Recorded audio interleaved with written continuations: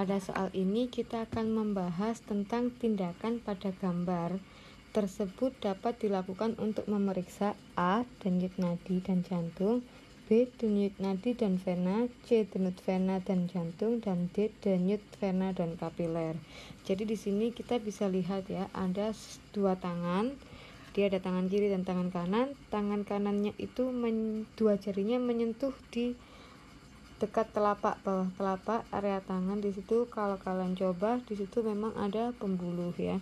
Jadi sebenarnya itu untuk memeriksa apa ya?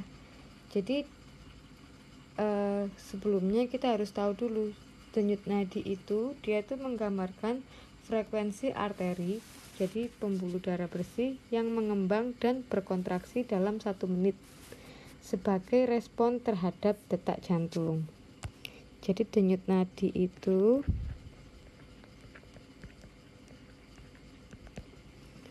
merupakan menggambarkan ya frekuensi arteri. Jadi dia tuh menggambarkan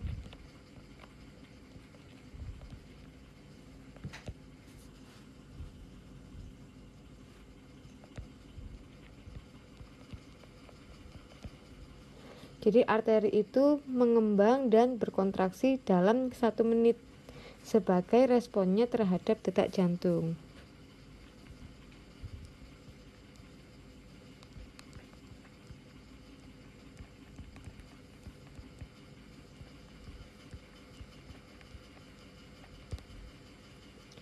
Nah, melalui denyut nadi tadi, kita bisa mengetahui juga detak jantung.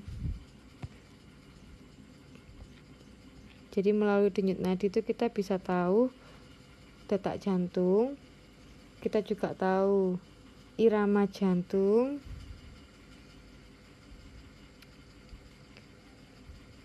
jadi selain kita tahu detak jantung ya kita bisa tahu juga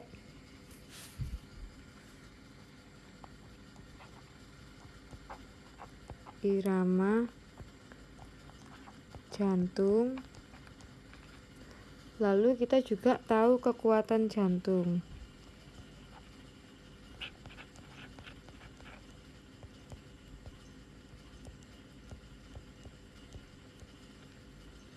Sehingga memeriksa denyut nadi itu bisa menjadi tanda apakah jantung bekerja dengan baik atau tidak. Jadi dari penjelasan tadi kita bisa tahu ya. Jadi uh, tang kedua tangan itu tuh sedang memeriksa denyut nadi. Nah, denyut nadi itu dia bisa memeriksa jantung ya kan. Jadi memeriksa respon detak jantung, irama jantung. Jadi kan jadi merespon detak jantung, merespon irama jantung dan merespon kekuatan jantung. Sehingga jawabannya adalah A ya jadi dia itu memeriksa jenyut nadi dan jantung.